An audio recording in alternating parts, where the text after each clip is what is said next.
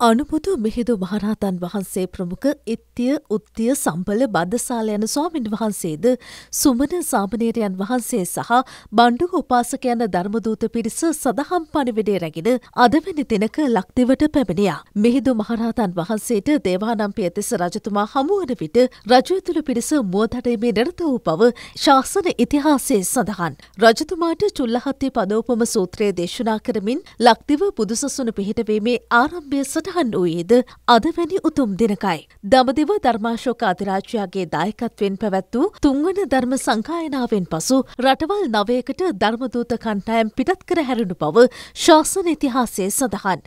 එම ධර්මදූත ව්‍යාපාරය ශ්‍රී ලංකාව තුළ වඩාත් සාර්ථක වුණා. එවකට ලක්දිව පාලනය කළ දේවානම් පියතිස රජතුමා ඇතුළු රටවැසියන් බුදුදහම වෙළඳගත්තා.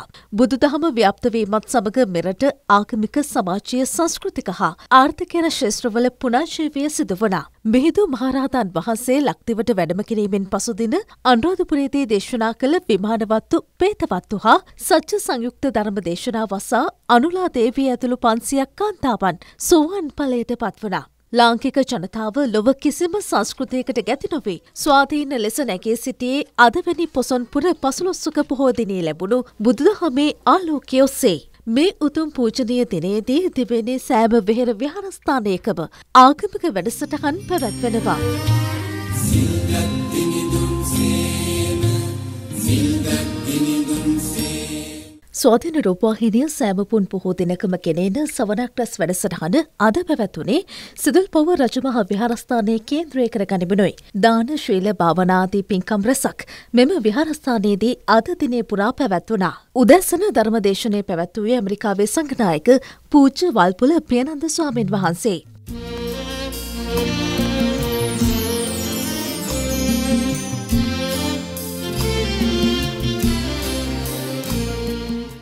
ලක්කඩ ගුවන් විදුලිය සෑමපුන් පොහෝ දෙනකම ක්‍රියාත්ම කරන ශාසනාලෝක වැඩසටහනද මෙවරත් පැවැත්වනා. ඒ සිතුල් පව රජමහා විහාරස්ථානයේ සිටයි. සාමනේර භික්ෂුන් වහන්සේ සඳහා ධර්ම ග්‍රන්ථ පිරිනැවීම ඇතුළු පින්කම් රැසක් එහිදී සිදු කෙරුණා. හෝමාගම ධර්මරශ්මී පොසොන් කලාපය. ධර්මරශ්මී හෝමාගම පොසොන් කලාපය එන්ස්පම් හර්ත සරසපයේදී හෙට රාත්‍රී අටයි තිහේ සිට පැවැත්වෙනවා. ගායක ගයිකාමන් රසක් සහභාගි වන බැතිගේ ප්‍රසංකය රාත්‍රී දහයේ සිට ස්වාතිීන රූපවාහිනි ඔස්සේ නැරබිය හැකේ. පොසොන් පොහොය වෙනුවෙන් මේ වන විට සැදැහවතුන් විශාල පිරිසක් අන්රාධපුරයට පැමිණ සිටනවා. ජයස්ත්‍රීමහා බෝධීන් වහන්සේ අභියස පෙහෙවස් සමාතන් වූ විශාල පිරිසක් සිටන පවයි අපවාර්තාකරුවන් සඳහන් කරන්නේ. රුවන්වැලි සෑය වැඳපුදා ගැනීමටද විශාල පිරිසක් එක්ව සිටනවා. අටමස්ථානයේ වැඳපුදා ගැනීමට පැමිණෙන සදහැවතුන් පරිසරය ආරක්ෂා කිරීම පිළිබඳවද විශේෂ අවධානය යොමු කළ යුතු වනවා. අන්රාධපුරේ වන්දනාවේ පැමිණෙන සදහැවතුන් වෙනුවෙන් දන්සල් රසක්ම ක්‍රියාත්මකයි. මහනුවර ශ්‍රේදල්තා මාලිකාවේද වැඩසටහන් රසක් ක්‍රියාත්මකයි. සදහැවතුන් විශාල පිරිසක් මෙම ආගමික වැඩසටහන සමඟ එක්ව සිටනවා. පොසොන් පොහොය වෙනුවෙන් පණිවිඩයක් නිකුත් කරන ජනාධිපති රනිල් වික්‍රමසිංහ මහතා ශ්‍රී ලාංකික ජාතික සංස්කෘතියේ සමාරම්භක දිනය ලෙස චිරාගතව ශ්‍රී ලාංකික බෞද්ධයන් අද දිනය සමරන බව ප්‍රකාශ කරනවා.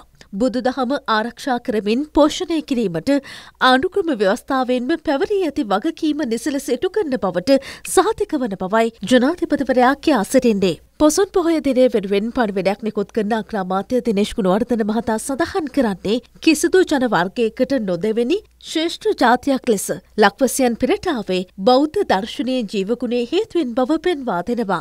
බුදුන් වහන්සේ දේශනා කළ ශ්‍රී සද්ධර්මයේ ආභාෂය ලැබෙමින් සැමට සාධහන්නේ ඉටුවන පාලනයක් රට තුළ ඇති කළ යුතු බව විපක්ෂනායක සජිත් ප්‍රේමදාස මහතා පොසොන් පොහොය වෙනුවෙන් පණිවිඩයක් නිකුත් කරමින් සඳහන් කරනවා.